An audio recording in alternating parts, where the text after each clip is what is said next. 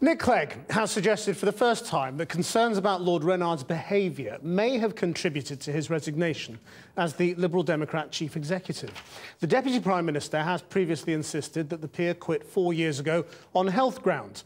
But today's admission has fuelled claims, first broadcast on this programme, that ill health was not the only reason for the departure. Lord Rennard continues to deny allegations of sexual impropriety. Here's Cathy Newman. We had no shortage of questions for Nick Clegg this morning about what he knew and what he did about allegations of sexual impropriety. Nick Clegg, Sandra Gidley says she told you about Lord Rennard. Do you remember that? We didn't get any answers, but callers to LBC Radio's Nick Ferrari show did hear a frank admission that the party had seriously mishandled complaints against its former chief executive, Lord Rennard. I did not know about those um, allegations. Absolutely. And, and, can I just stress yep. something? You know, I hope anyone who knows me, and I, I so much believe that it is, is crucial that you treat people with, with respect and dignity in everything you do. And that's what I expect of people in the organisation that I lead. That clearly did not happen here, to put it mildly. There were some very serious mistakes, and the women were not listened to and they were let down. We've asked for an interview with Mr Clegg, but he's repeatedly declined. So I decided to surprise the Deputy Prime Minister with my own call. Uh, Cathy in Dulwich. Cathy, go ahead. Yes, it, Hi there, it's Cathy Newman here from Channel 4 News, or what you might call a, a self appointed detective. I just wanted to clear up really. At the weekend, you said that Lord Rennard quit on health grounds. Now, in what you've just been saying to, to Nick earlier on in the programme, uh, you appear to be accepting that his behaviour was part of the reason he went. Is that right?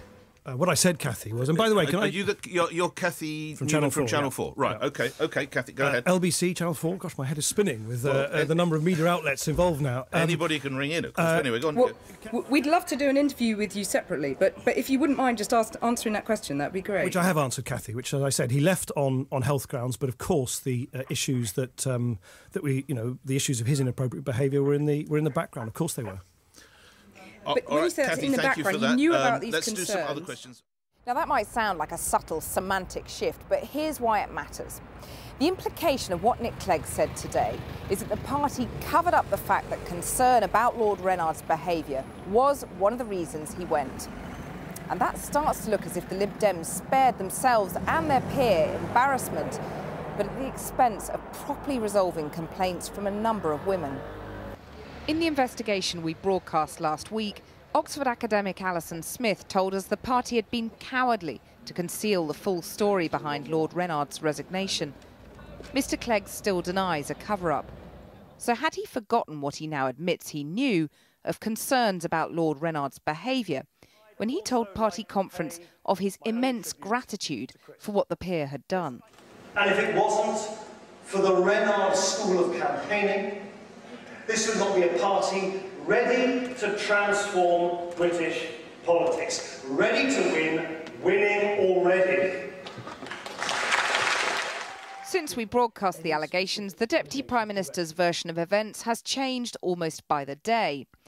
At the weekend, his spokesman insisted it is categorically untrue that Nick Clegg knew of the allegations raised by Channel 4 before this week. A day later, the Deputy Prime Minister admitted he was aware of concerns five years ago. Indeed, when indirect and non specific concerns about Chris Rennard's conduct reached my office in 2008, we acted to deal with them. But he continued to insist that Lord Rennard had quit because of his health. Chris Rennard categorically denied that he'd behaved inappropriately, and he continues to do so. He subsequently resigned as chief executive on health grounds. After altering his account of that resignation today, Mr Clegg explained that he could only tell us the truth as he recollects it now. Just what exactly that truth is, the police are now probing. It was announced yesterday that we had talked to some Lib uh, Dem party officials, but our main task is not to talk to people who don't know what happened. Our task is to talk to the complainants, the witnesses who say, obviously, have got something to tell us. So we started that process and then we'll make an assessment about, first of all, is there a crime? and then what, if any, action we will take. Lord Rennard continues to deny the original allegations and suggestions that he resigned for any other reason than ill health. Cathy from Dulwich reporting.